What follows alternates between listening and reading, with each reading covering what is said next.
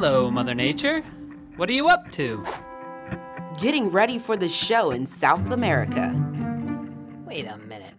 Are those penguins? In the desert? Yes, Humboldt penguins. I thought penguins needed to be near water to find fish for their families. They do. It's just in this case, it's a long commute to get there.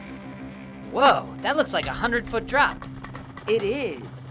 And penguins can't fly. There is only one way down.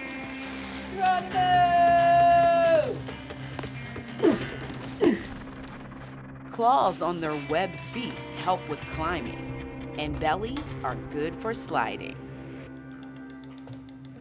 Who are their neighbors down there? Sea lions.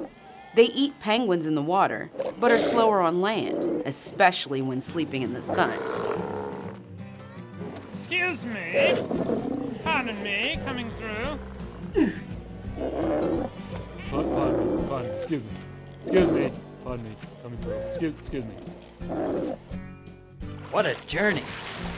And they still need to climb back up to their nests.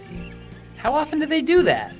Every day when there are hungry mouths to feed. That's freaky.